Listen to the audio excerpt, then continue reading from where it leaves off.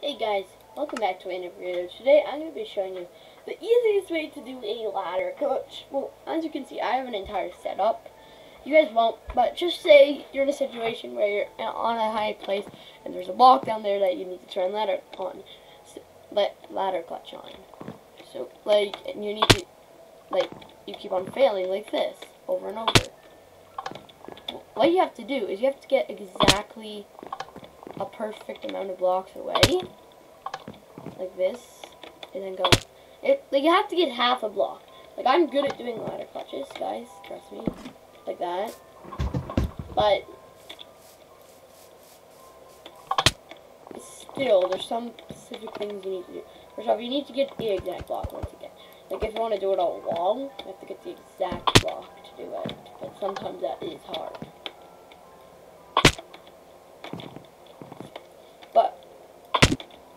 Hopefully, you just practice a lot, then you can do it.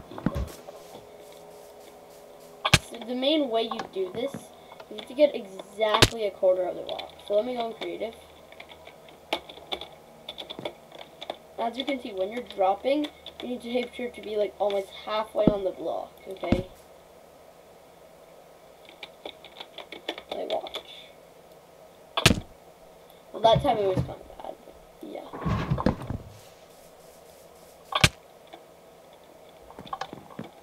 You get what I'm saying. Like, I'll show you two comparisons real quick. First version, you don't really try to get there, but you but you can't figure out the exact block you need to go on, or you go too close. I accidentally did that. or the version where you measure the block while you're falling and then try and do it like that. Now I also show you, I'll be showing, yeah. It's pretty easy. Or you could practice actually vine clutch first.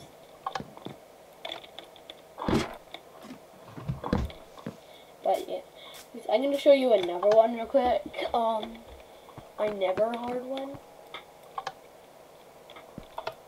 So I'm going to go from 310 blocks here, drop a ladder and show you exactly um, what you could You have to go aim your block measurement perfectly, which is kind of hard, especially from this height, but if I go like right there, yeah, got it. You're going to slow down, but then, oh, I never think people do. They actually place it down under you, so you actually take fall damage you go perfectly. But if you go on a specific side, then you don't take fall the image. Yeah. Like, I'll just show you it for 25 blocks for now. Pretty sure you can actually survive from. Yeah, just walk off and survive. Ooh, this is pretty easy. Too bad, I'm gonna go up to 75. like, any of the... The one we're talking about though today is ladder,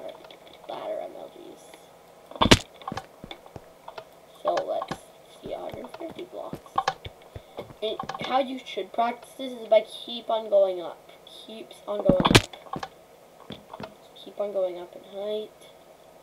And then I'm only going to go all the way up because I'm better at going. I'm good at doing it. As you can see, while you're falling, you could just clutch by... Ah, I forgot!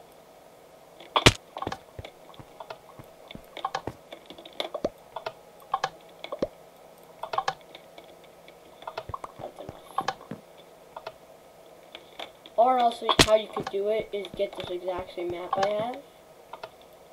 It's on a website I will link in the description. It's very good for texture packs.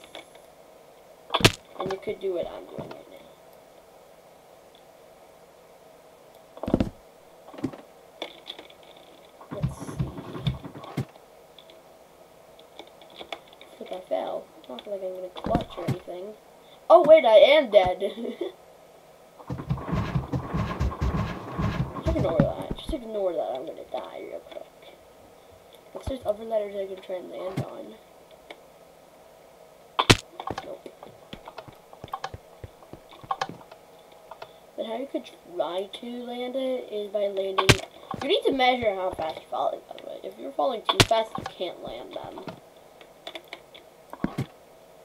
So you need to keep sure that you're not falling too fast, but you're not falling too slow. Or else, well, this will happen. Or you're too close to the block, or else you place it down and you land on the ladder. Yes. So don't do this. Like, make sure to measure it so you do land on it, but sometimes you don't land on it, so just need to watch out. And also, if you're new to the game, and it works on Bedrock, like I'm doing this on Bedrock.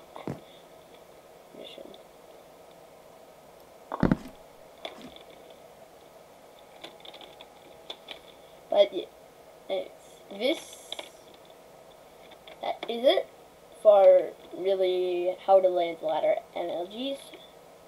Bye guys. See you guys in the next video.